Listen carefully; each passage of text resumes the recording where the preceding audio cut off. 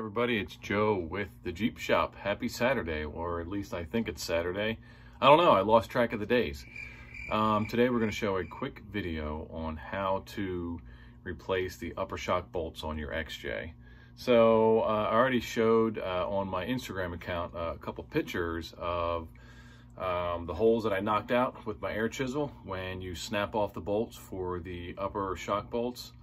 Uh, you basically strip out those, hell, you don't even get to strip them out. They just break right in half.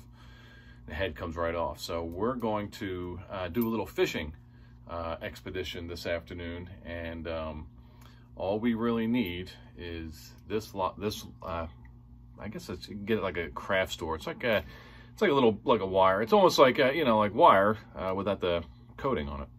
And then this bolt. So let's do a little fishing. Let's start. So the first thing you want to do is take your fishing wire and run it through the little upper shock mount hole that you made. And you want to have it come out, sorry, my arm's in the way. That end right there. a little hard to do with one arm, but uh, you should see that fishing line come through right there. Yep. And then all you'll do is snag it. So you kind of have this going through, right? Oh, jeez. Oh, oh, oh boy. There we go. Better with two hands. Okay. It's going to kind of kink that. so now you have that. And I'll show you the next step. This I definitely need two hands okay, for. Okay, look, we caught a bolt with our fishing wire. So the plan is to kind of fish this through that hole. And let's see if we can get that. Wish I could do this with two hands here. Let's see.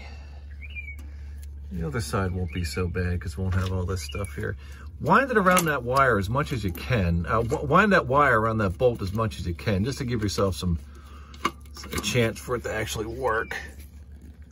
Sorry, sorry for my big meat hooks being in the way.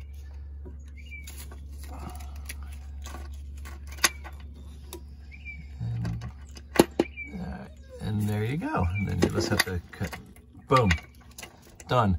The trick is to wind it from the top first and then have it end up at the front of the bolt because you want to lead with the with this part having it close to the end of the wire so it kind of cinches it in and pulls it into the hole.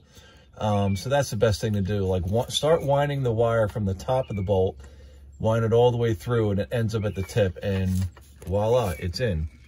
Now I used a washer just to give it some extra room and uh, and that's it really. Um, can you tighten, can you put a, a, a, wrench on the top of that? No. Correction, um, you are able no, to use an open-ended wrench to, to get sure onto the top of the bolt to tighten um, it down. Obviously, so it doesn't come off. Um, shocks are a very important part of your suspension and I would make sure that you tighten it until it is tight as can be for you. Um, so I'll do the other sides, but uh, it's the same process.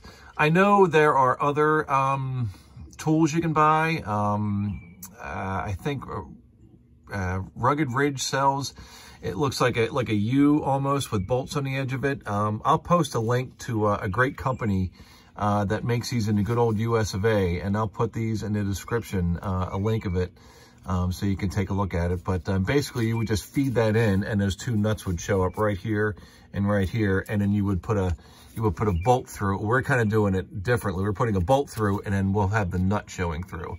So uh, either way, it's good to go. So I hope you found this video helpful and enjoyable, and uh, we'll see you on the next one. Take care of yourself. Be safe. Six feet, everybody. Bye.